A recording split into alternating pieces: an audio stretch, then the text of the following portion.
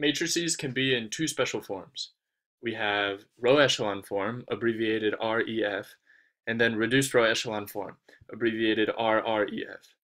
And so in this video, we're going to go through the different criteria of each form so that we can um, be able to look at a matrix and identify if it's in row echelon form, reduced row echelon form, or neither. Uh, before I go through the criteria of each form, I have to define uh, a special key term, which is pivot. So what does a pivot mean? Um, if you look at a matrix, some example matrix like this, you look and see, okay, this has four entries, but some of them are special entries, and we call those special entries pivots. And what makes them special is that they are the first non-zero entry in each row. Okay, so this example matrix, you go to the first row, and what's the first non-zero entry going from left to right? It's this one. And then in the second row, the first non-zero entry is the 3. So these are your two pivots for this example matrix. Okay, that's a really important key term, and it comes up in the criteria. So now let's go through those criteria. So if a matrix is to be in row echelon form, it has to meet these three conditions. Okay, the first condition is that the pivots go top left of the matrix to bottom right. So in this example matrix here, it satisfies that condition because they go top left to bottom right. When would they not satisfy this? If you had a matrix that looked like this, right? Because then, because then here are your two pivots, the first non-zero entry in each row, going from left to right. And then the, they go like top right to bottom left, or you could say bottom left to top right. So this does not satisfy the first condition.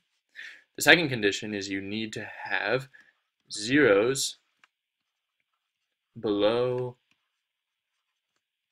each of your pivots, right? So up here, you have this one, so let me redraw this. One, two, zero, three. You identify your pivots, here they are. And you look at each one and you say, are there zeros below each pivot? In the first case, you have a one and there's zeros below it. In the second case, there are no entries below the three.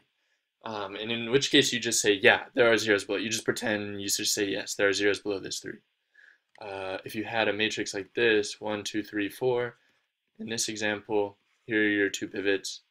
And you look at this first one, the pivot one, and then there are not there are not zeros below it. And so it does not satisfy criteria number two. This is not in row echelon form. Neither is this. Okay, then the third one is if you have any row of all zeros, then it has to be at the very bottom of the matrix. So any row of all zeros must be at the bottom. And uh, that makes enough sense just like that. But one thing I do want to bring up, if you had something with two rows of all zeros, like this matrix, right, this would not satisfy the third condition because if you have multiple rows of all zeros, they have to all be at the bottom, right? So you would have to switch rows one and two for this to be in row echelon form. So as it is, this does not satisfy condition three. Okay, that's row echelon form.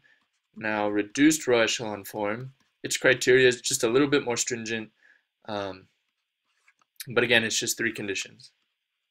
The first one though is that if a matrix is to be in reduced row echelon form, First, it has to be in row echelon form.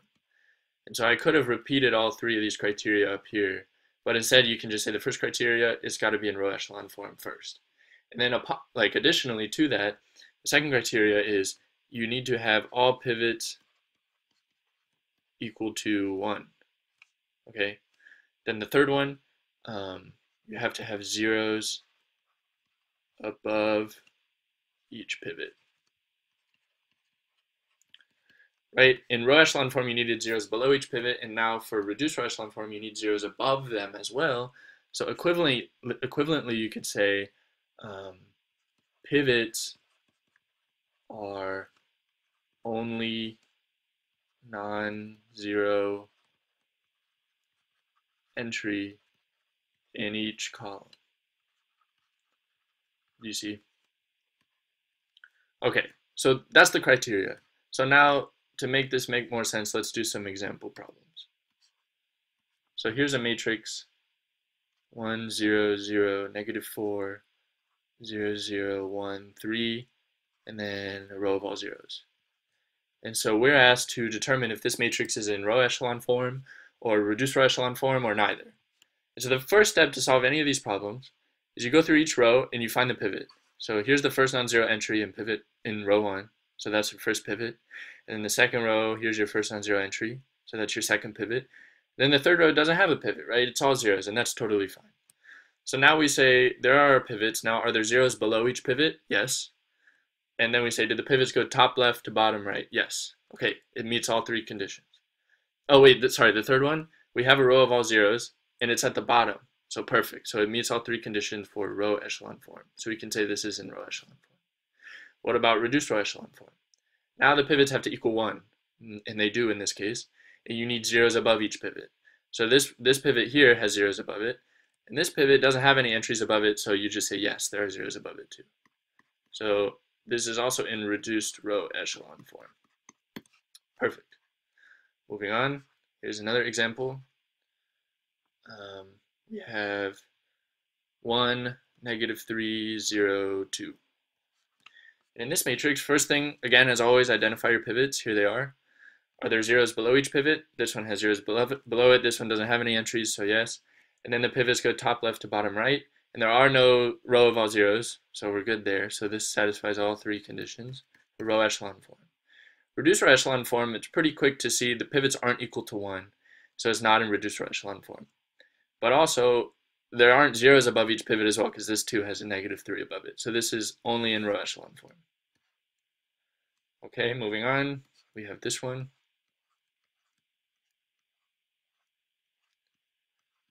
And we say, is it REF, R, REF, or neither? So first things first, identify your pivots. And then you say, are there zeros below each one? Yes. Do they go top left to bottom right? Yes. There's a row of all zeros, but it's at the bottom.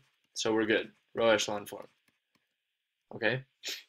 And then you say, are the pivots all equal to 1? Yes, they are. Are there zeros above each pivot? Yes. So it's also in reduced row echelon form. So you can see as you practice each step, or as you practice these problems, you can get quicker at it. As you memorize the criteria, it becomes much faster. The one thing about this that I want to point out, though, is that there's this column of all zeros. Don't let that trip you up because there's nothing in the criteria about a column of all zeros. If you see one, it could be in any column, and that doesn't matter.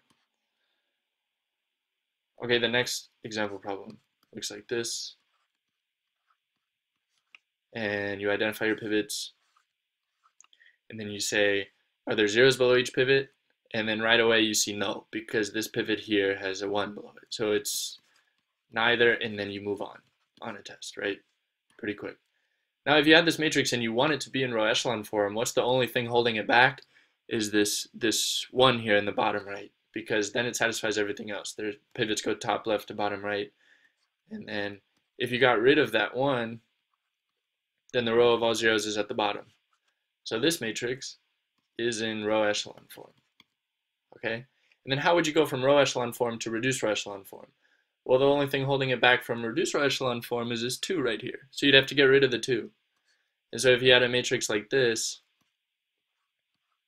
then this is also in reduced row echelon form.